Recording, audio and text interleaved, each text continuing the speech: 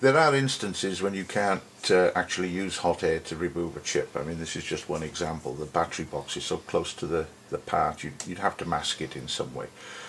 And uh, that's not the only scenario. There's there's instant you get occurrences where the chip when you you heat it and heat it and it just doesn't the, the alloy simply doesn't want to flow. So we we've had to devise other methods of removing these parts and this is just one example. Um, pretty foolproof as long as you're patient and you don't force it. You take very very light strokes. Uh, we use a needle file to remove the most of the material from the legs adjacent to the sides, uh, sides of the body of the chip.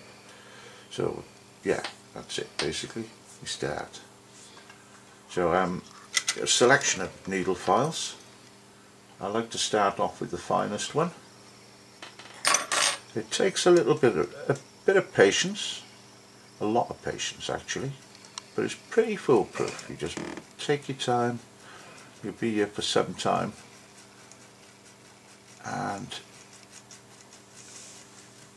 you just don't rush it just don't rush it you can see it's just working through the first one when you actually get most of the material removed you can just pop a scalpel through them just to clear them but not until you're pretty sure you've removed most of the material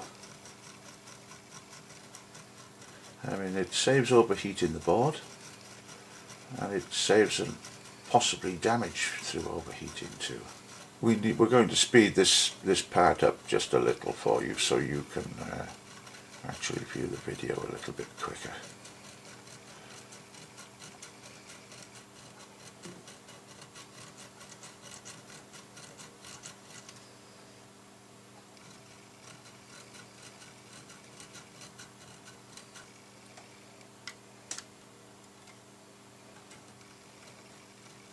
Right, we'll just stop there a second and just see if they're thin enough to push through. Yeah, that one's really... Once you've finished the one side, obviously the same needs to be done on the other side. But both sides have been pretty much filed through now. This one should be just a simple matter of popping the scalpel through the thin section on the end and away she comes. We've removed the EEPROM.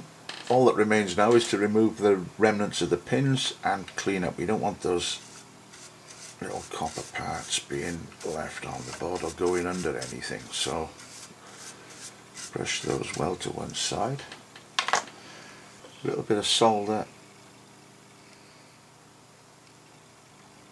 Tin everything really well and the pins, no matter how hard the alloy, will actually just come away really easy without damaging the tracks. There's a little blob on there I might be able to take off, yeah. And then it's just a matter of cleaning up. use an ordinary solder braid